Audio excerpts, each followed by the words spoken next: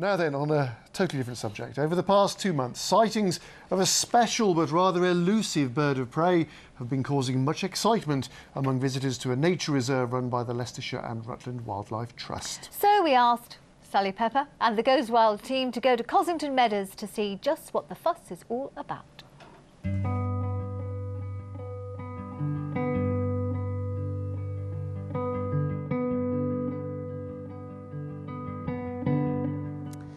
Although it is more commonly thought of as a nocturnal hunter, this particular bird of prey can also be seen by day. And with daily sightings of them here at Cossington Meadows, we're hoping we may get a glimpse. And to help us hopefully catch that glimpse, we've enlisted the expert advice of John Haig from the Leicestershire and Rutland Ornithological Society. So, John, what we're here to see then today? Um, well, we're coming to see the short-eared owl. Um, we've got up to four birds probably around the um, reserve at the moment. You see the trees in the hedge there, the, the spindly tree? We've got one sat out there now. Just got its back to us. Gosh, right up on high there. That's it. Brilliant, aren't they?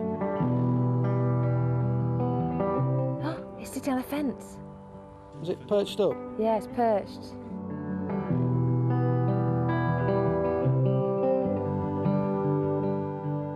The Orkney people call them catty-faced owl. Catty face. Oh, Catty-faced owl. because of the eyes. So where do you think the roost is then? The roost is somewhere in this little triangular field here. Okay. The roost on the ground, or occasionally in low bushes. Their ears are placed slightly higher. One's slightly higher than the other. Right. So it gives them almost like a radar if, effect. So the sound comes in and they can pinpoint it. It's very much like if we do that, you know, Yeah, kind of yeah. do that, you can hear better. And their hearing is so acute that they'd hear like a rustling Yeah. of a vole. And wow. They tend to feed on the ground, so we tend not to see one munch it down, but they'll get a vole, get it in the talons, transfer it straight to the bill, and just Yeah, swallow it swallow it straight back. I think it's showing off for the cameras, isn't it?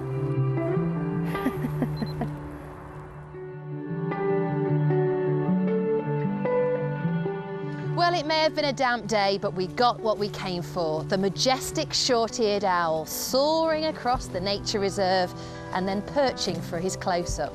So why don't you come along to Cossington Meadows and you may well see one for yourself.